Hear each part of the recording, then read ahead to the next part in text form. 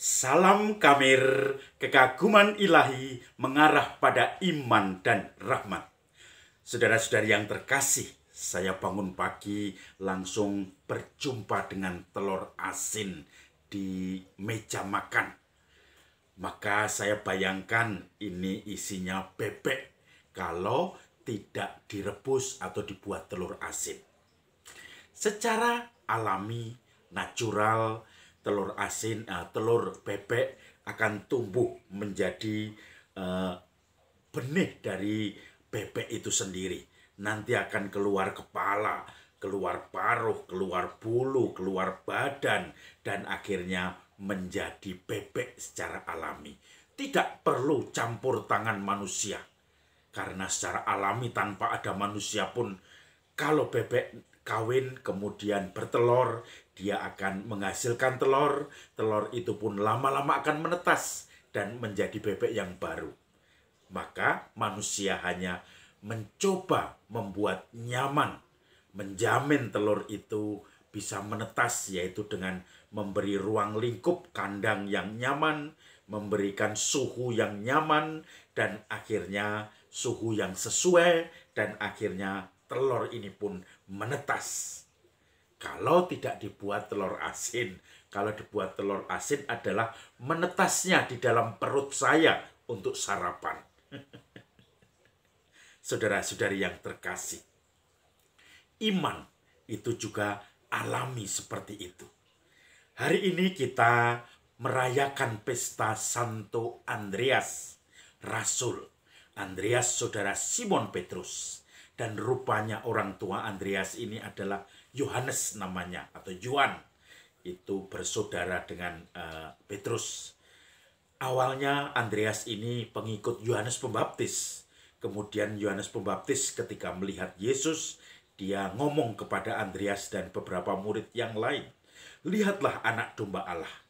Maka Andreas menangkap bahwa Yesus lebih besar dari Yohanes Pembaptis. Dia mengikuti Yesus ingin mengenal Yesus, di mana engkau tinggal? Kemudian Yesus, mari silahkan ikut. Maka Andreas itu sungguh mengenal Yesus dengan tinggal semalam bersama Yesus. Kemudian Andreas pulang. Dia berkata kepada Simon, saya telah melihat Mesias. Simon pun diajak untuk bertemu dengan Yesus. Nanti juga Filipus, saudaranya sekota, karena Andreas ini berasal dari Bethsaida di Galilea, seorang nelayan.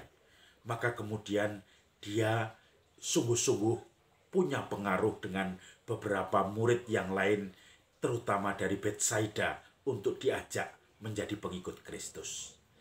Simon Petrus saudaranya dan juga Filipus yang kemudian ikut dengan Yesus sebagai murid juga.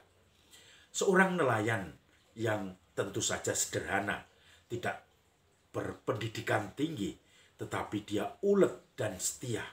Dia disebut dalam kitab suci kurang lebih 13 kali dalam Injil. Dan dia juga yang mengenalkan seorang anak ketika Yesus mau melipat gandakan roti dan juga ikan. Ada anak yang mempunyai lima roti jelai dan dua ikan. Eh, Yesus mengatakan, kamu harus memberi makan. Maka Andreas, di sini ada anak yang membawa lima roti jelai dan dua ikan. Lalu untuk apa?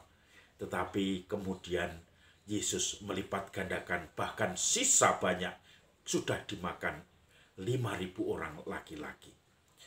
Andreas ini juga yang akhirnya nanti menjadi rasul berkeliling. Karena pada zaman uh, Yesus dia juga membawa orang-orang Yunani dari Dekapolis. Dekapolis itu dekat dengan Bethsaida. Waktu itu orang-orang Yunani pergi ke Yerusalem, mereka sudah mengikuti kepercayaan Yahudi. Kemudian dalam perayaan itu mereka juga ingin ketemu Yesus yang terkenal itu. Dia minta tolong pada Filipus untuk mengantar kepada Yesus.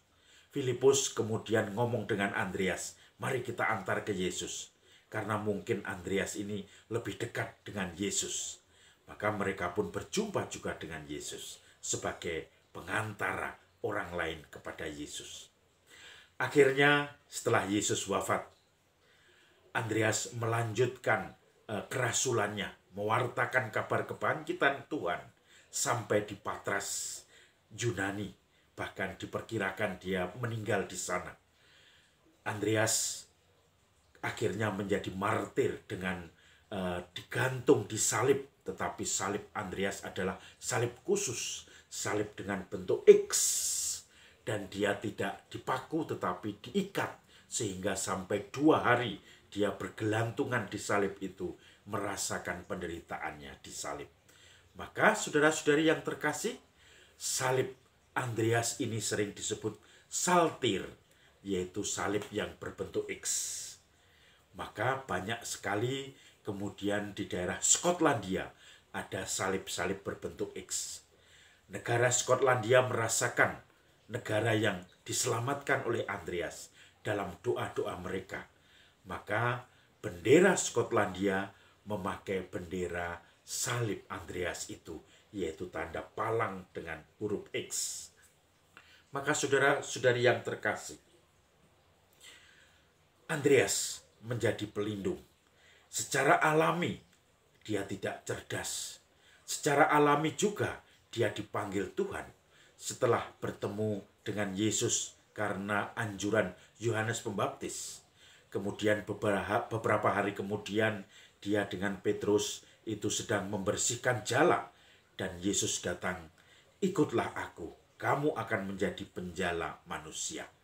Maka mereka pun mengikuti Yesus. Yohanes, Yakobus juga mengikuti setelah itu, tetapi lebih dahulu Andreas dan Petrus dan mereka menjadi murid yang kadang-kadang para komentator mengatakan atau juru tafsir mengatakan bahwa Andreas adalah murid terdekat keempat Yesus. Yang pertama Petrus, Yakobus, Yohanes yang sering diajak misalnya di peristiwa transfigurasi. Tetapi Andreas itu juga kadang diajak oleh Yesus. Dan ini murid yang terdekat dengan Yesus keempat katanya. Saudara-saudari yang terkasih, kita bersyukur mempunyai Santo Andreas, para murid yang selalu juga mencontoh kemartiran-kemartiran mereka dan juga uh, yang tanpa henti mewartakan kebangkitan Tuhan, kegembiraan Tuhan. Maka banyak orang, terutama orang-orang Yunani, bukan Yahudi, itu mulai menangkap kabar gembira Tuhan itu kita pun yang di Asia juga sampai sekarang menangkapnya. Saya misalnya lahir sudah kemudian Katolik, dibaptis bayi karena orang tua saya itu semua dipermandikan dewasa. Artinya bahwa mereka mendapatkan pewartaan juga. Tidak hanya sampai Yunani pewartaan, sampai Asia, India pertama, kemudian mengalir ke beberapa tempat akhirnya ke Indonesia juga.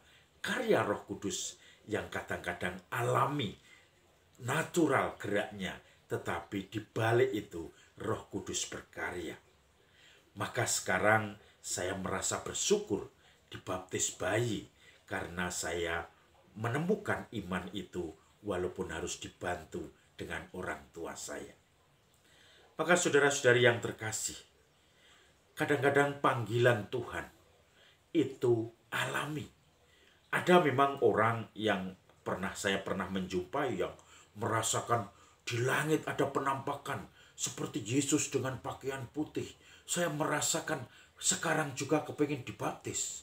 Walaupun akhirnya harus pelajaran 6 sampai 7 bulan, tetapi akhirnya dibaptis.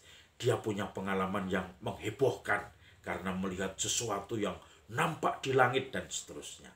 Tapi banyak juga yang seperti Andreas mengajak yang lain tadi, yaitu alami diajak oleh temannya.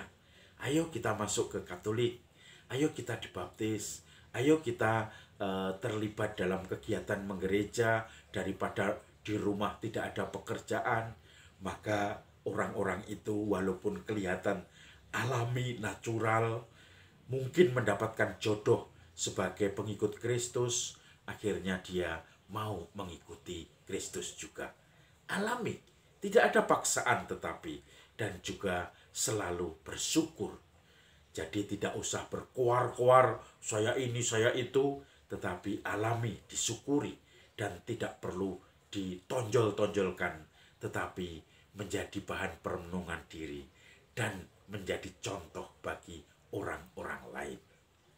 Bapak saya juga ketika dibaptis itu alami. Ketika lahir tentu saja belum Katolik, belum dibaptis. Sekolah di sekolah Katolik. Bagaimana mengikuti uh, proses dinamika sekolah Katolik dan akhirnya ketika dewasa minta dibaptis dan pelajaran. Ingat tidak bisa langsung dibaptis bisa sampai setahun tujuh bulan enam bulan untuk pelajaran dulu dan tidak dengan mudah orang itu akhirnya dipermandikan. Karena sungguh-sungguh harus ditunjukkan keinginannya harus ditunjukkan niatnya dan juga itu bukan sesuatu yang hanya dadaan, hanya uh, apa tiba-tiba dan kepingin tapi besok bosan lagi. Dicek semua. Harus tanda tangan mengikuti ibadat-ibadat peribadatan liturgi ekaristi di gereja dengan buku yang daftar tanda tangan sehingga dia menunjukkan saya memang kepingin untuk dipermandikan. Maka mari kita juga menemukan rahmat Tuhan dalam kehidupan sehari-hari. Tidak harus yang heboh-heboh, yang harus mukjizat-mukjizat, tetapi mukjizat yang sebenarnya alami, natural. Kita temukan sesuatu yang masuk akal. Telur yang akan menetas menjadi bebek atau kalau telur asin yang akan menetas di perut sebagai makanan sehari-hari. Salam kamir ke kekaguman ilahi mengarah pada iman dan rahmat.